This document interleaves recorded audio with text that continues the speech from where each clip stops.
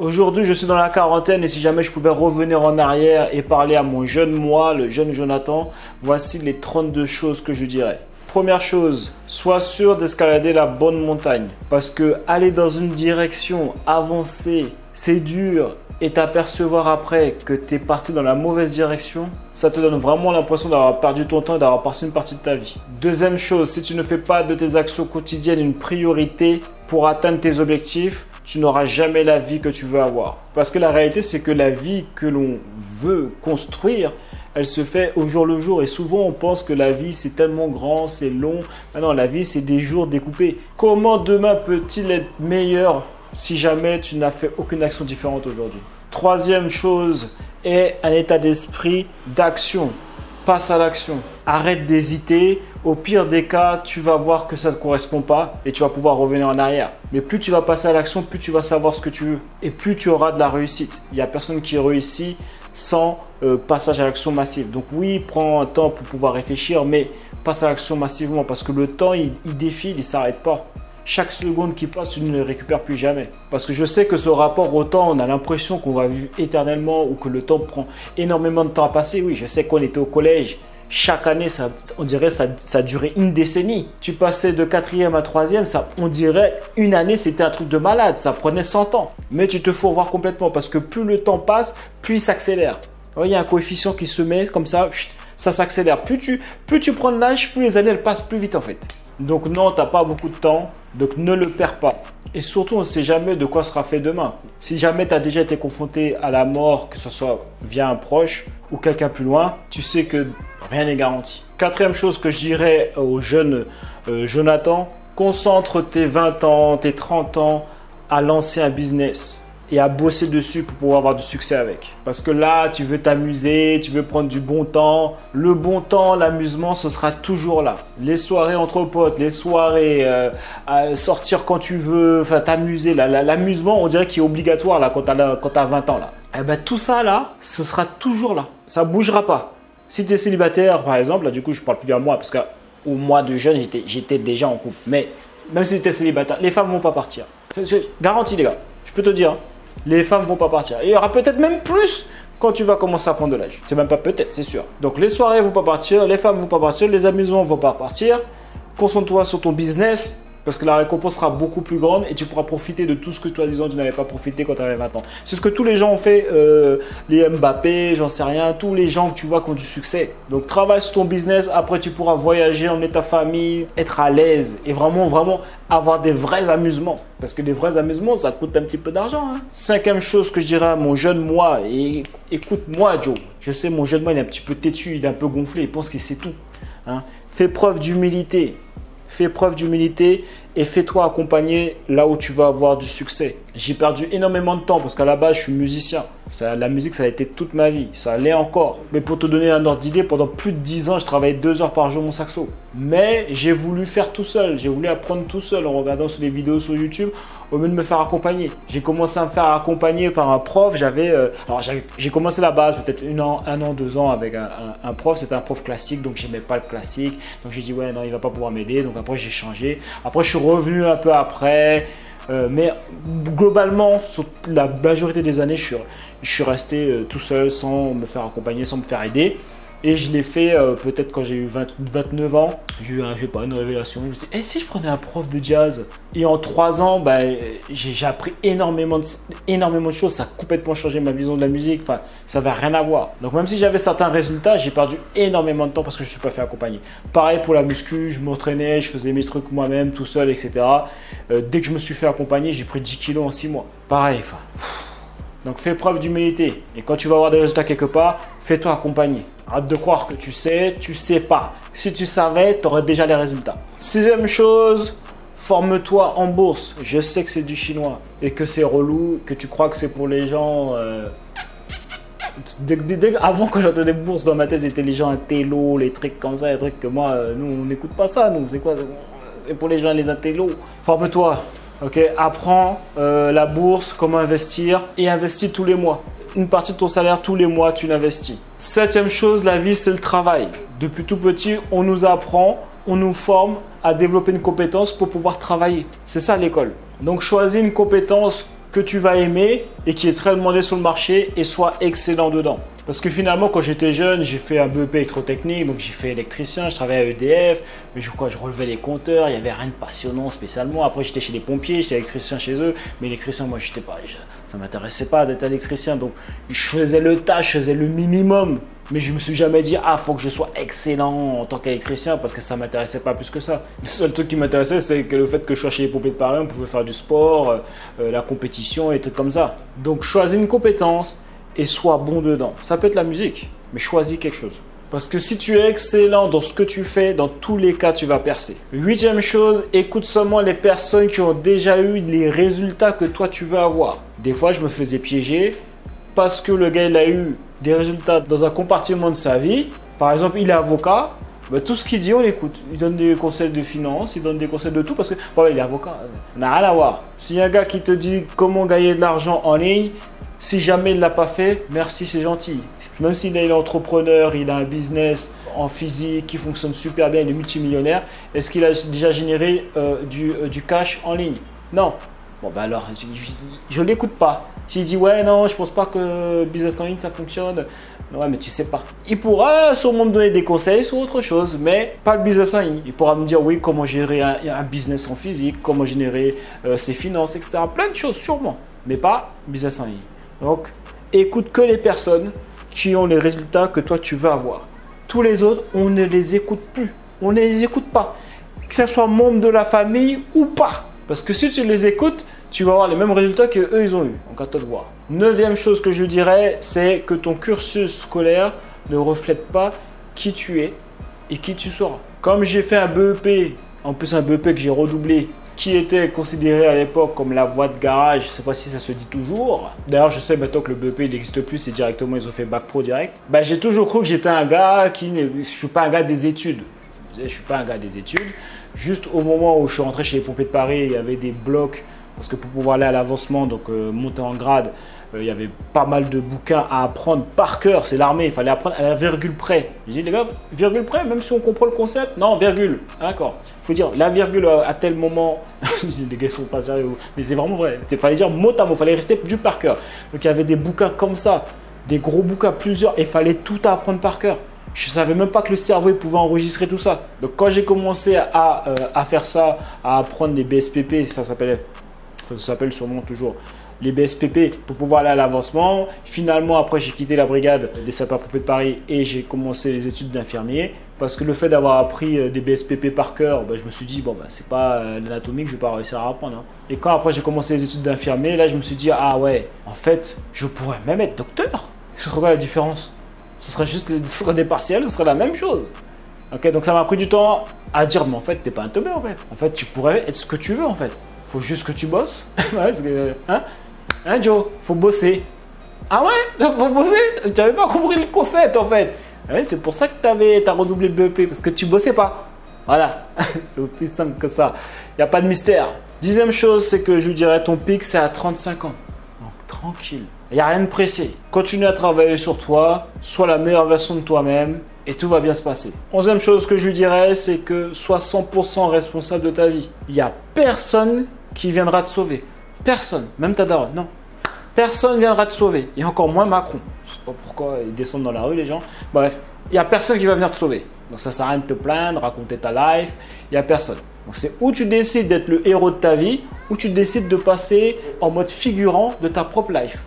embêtant quand même. La douleur d'être 100% responsable de ta propre vie sera toujours moins douloureuse de la douleur de ne rien faire et de subir ta propre vie. Deuxième chose, accomplir quelque chose d'extraordinaire résulte des actions ordinaires que tu fais au quotidien. Il n'y a pas de secret, il n'y a pas de raccourci, ne perds pas ton temps. Il n'y a pas de réussite du jour au lendemain, il n'y a pas une action que tu vas faire et boum, ça y est, tu as du succès, tu as la réussite. Non. Donc sois concentré, sois discipliné et fais ce qu'il y a à faire tous les jours. Treizième chose, choisis avec sagesse ta partenaire. Sur ce coup-là, tu t'es pas trop raté, mais quand même. Mais j'en profite pour pouvoir te donner le conseil. Choisis bien ta partenaire. Sois sûr qu'elle a la même vision, ne te base pas uniquement sur le physique ou ne choisis pas une femme par dépit. Hein. comme je disais que ton pic c'est bien plus tard, 35 et plus, hein, t'inquiète pas. tu as le temps. Parce que si jamais tu choisis la mauvaise partenaire, tu vas abandonner tes rêves parce qu'elle n'est pas d'accord avec ta vision. Tu seras malheureux ou vous allez finir par vous séparer. Quatorzième chose, c'est les moments durs que tu vis aujourd'hui vont rendre ta vie plus facile dans le futur. Et le contraire est aussi vrai. Si jamais tu cherches toujours la facilité, tu vas rendre ta vie beaucoup plus dure. C'est ce que la majorité des gens font. Ils cherchent à chaque fois la facilité et c'est pour ça que leur vie est de plus en plus dure. On pourrait prendre l'exemple des crédits par exemple. Tu as la vie facile aujourd'hui et puis, plus le, temps il avance, vu que tu as pris l'argent du futur, tu l'as utilisé pour aujourd'hui, ben, tu n'en as plus dans le futur, donc tu en galère.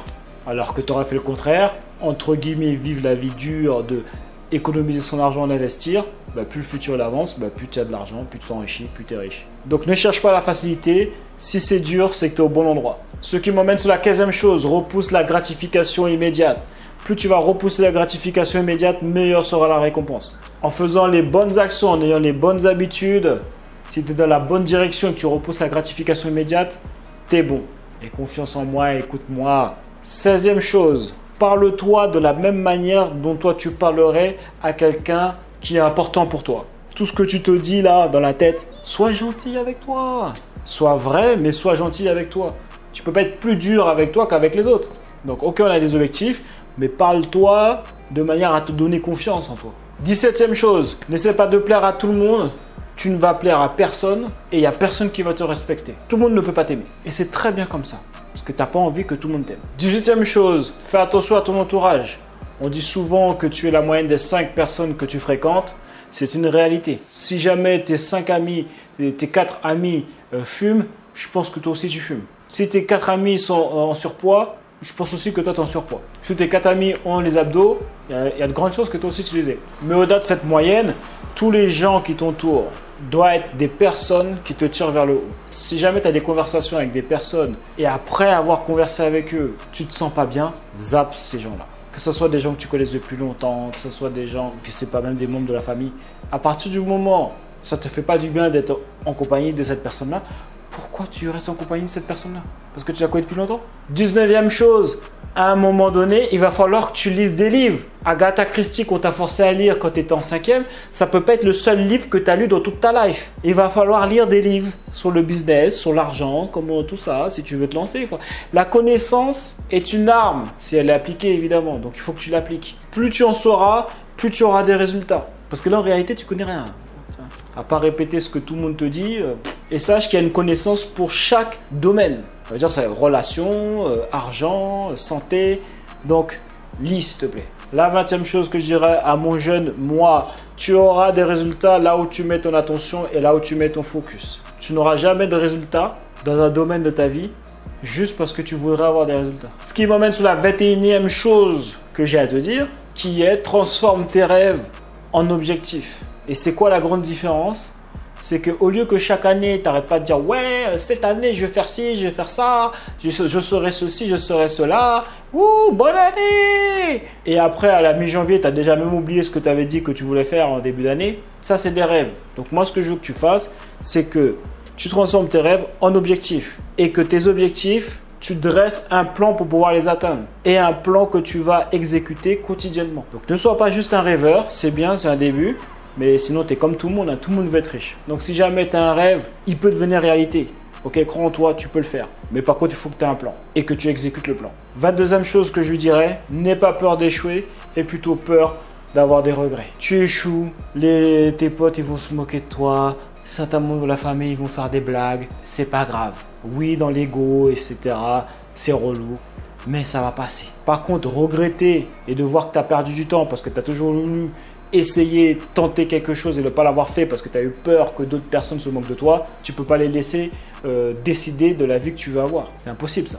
23e chose que je dirais, la pire des choses qui peut t'arriver, c'est de n'avoir aucun objectif. Ça veut dire que tu sais pas ce que tu vas. Tu marches dans la vie comme ça. Hop, qu'on nous vend des marées. Hop, on te met une gifle. La vie te met une gifle ici.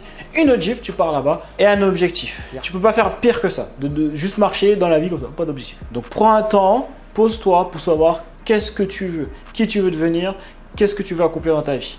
Plus tôt tu feras ça, mieux on sera. Et c'est pas quelque chose de figé, tu pourras toujours l'améliorer. Euh, hein, voilà. Tu as commencé déjà tard, hein, je suis en train de toujours le peaufiner là. Plus on commencera tôt, mieux ce sera. 24e chose que j'ai à te dire. ça fait beaucoup. Eh, eh, eh, Ah, fais pas le fond Tu n'es pas ton passé, tu es ton futur. Donc agis comme le toi du futur.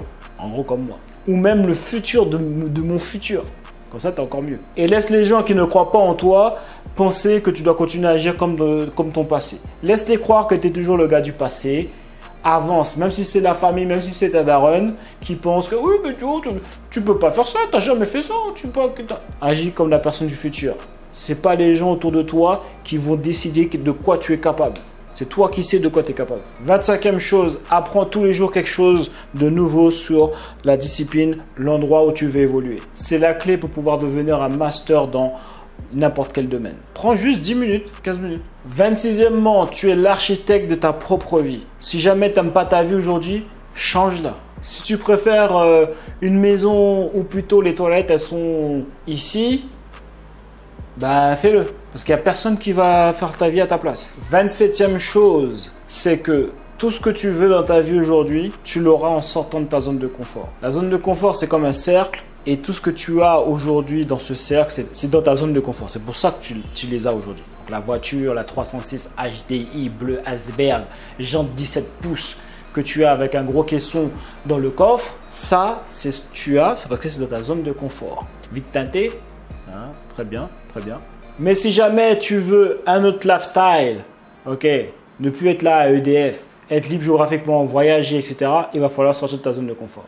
Et ça, c'est valable pour tout. Les plus belles récompenses sont en dehors de la zone de confort parce que c'est là où elles sont en dehors de ta zone de confort parce qu'il faut que tu agrandisses ta zone de confort pour pouvoir qu'elle puisse faire partie de ta zone de confort et que tu puisses y avoir accès. Et ça, c'est pareil même pour euh, tous les domaines de la vie. Sortir de sa zone de confort, peut-être parler à, d'autres personnes, des personnes ne sont pas dans ton cercle d'amis. Arrête d'être toujours vouloir être que tes potes, tes potes. Essaie de parler avec euh, des personnes que tu connais pas, des étrangers. 28e chose, évite de dépenser ton argent dans des passifs pour pouvoir impressionner les autres. C'est la meilleure façon d'aller tout droit vers la pauvreté. Utilise plutôt cet argent pour investir tous les mois, profiter de l'effet cumulé, hein, comme je t'ai dit précédemment pour la bourse. Sache que Warren Buffett, la majorité de sa fortune, il l'a fait après ses 50 ans. Ouais, mais moi je veux pas attendre 50 ans, etc.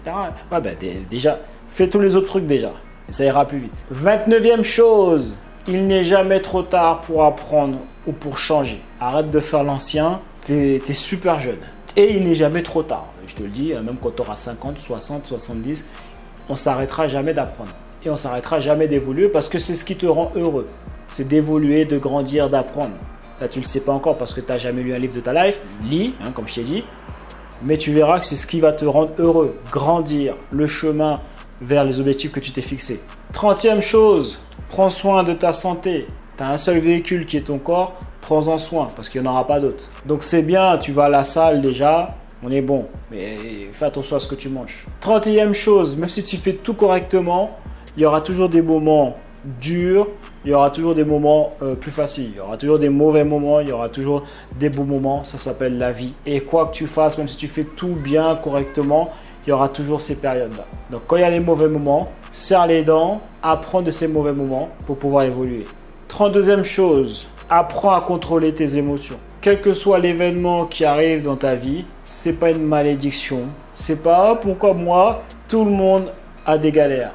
Ce qui va changer, c'est la manière dont tu vas gérer, interpréter euh, cette galère qui t'arrive dans ta vie. C'est toi qui vas en décider. C'est comme l'exemple, euh, je l'avais lu dans un livre que tu liras bientôt, hein, où il y avait deux enfants sur la plage, c'était des jumeaux, ils se sont renversés par, euh, par une vague. Il y a un des jumeaux qui était en train de chialer, et l'autre qui rigolait. On fait tous face aux mêmes événements. Il y en a qui se positionnent en mode victime qui ne sert à rien, hein, parce que, comme je t'ai dit, personne ne va venir te sauver. Il y en a qui interprètent l'événement pour que ce soit un moment positif. 33e chose euh, que je dirais, c'est sois un peu plus ouvert sur tout ce qui est croyance, religion. C'est pas parce que tu as grandi dans une certaine religion qu'il faut pas s'intéresser sur ce qui se passe ailleurs. Donc sur ce, pour ceux qui veulent aller plus loin et euh, savoir comment créer un business en ligne, je te donne en gros les 7 étapes pour pouvoir faire entre 6 000 euros et 10 000 euros par mois euh, de profit. Je sais que ça paraît fou. Mais regarde quand même, tu verras, c'est 100% gratuit et tu verras que ça a juste du sens si jamais tu, utilises le bon business model. Et ça, même si tu es débutant. Donc, clique euh, sur le lien qui est dans la description. Prends ça tout de suite. C'est carrément une formation que je peux largement mettre payant. Tout le monde dit que c'est ouf la valeur que j'apporte dedans. Donc, prends ça maintenant. Et sur ce, les gars, on lâche rien et on reste déterminé. Il y a eux, il y a nous. Je vais ton camp.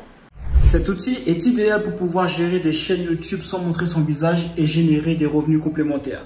Laisse-moi te montrer comment ça fonctionne. Tout d'abord, demandez à ChatGPT les 50 niches qui rapportent de l'argent sur YouTube. J'ai choisi animaux et soins pour animaux. Ensuite, allez sur YouTube et tapez les meilleures activités pour chiens. Puis triez par vue. Par exemple, ce titre, c'est bien. Il a plus de 1,2 million de vues. Donc on sait que c'est bon. On peut voir ici que cette chaîne génère entre 120 euros et 2000 euros par mois. Donc on peut partir là-dessus. Donc maintenant, la partie amusante. Allez sur apollonvideo.com. Vous pouvez créer des vidéos incroyables en quelques minutes. Ici, il suffit de taper un texte pour pouvoir générer une vidéo. Donc ce que l'on va faire par exemple, c'est qu'on va prendre le titre qui a déjà généré plus d'un million de vues pour pouvoir générer la vidéo. Ensuite, appuyez sur générer. Et voilà, c'est tellement facile que c'est insolent. Et si vous voulez changer quelque chose, il vous suffit d'appuyer sur éditer et vous pouvez changer le script si jamais vous voulez changer la première phrase. Vous pouvez aussi changer euh, la scène vidéo, la première scène vidéo par exemple. Une fois que vous êtes satisfait, vous mettez appliquer les changements, exporter la vidéo et publier sur YouTube et commencer à gagner vos premiers euros. Rendez-vous sur Apollon Vidéo, cliquez sur le lien maintenant dans la description pour pouvoir tester l'outil gratuitement pendant 7 jours.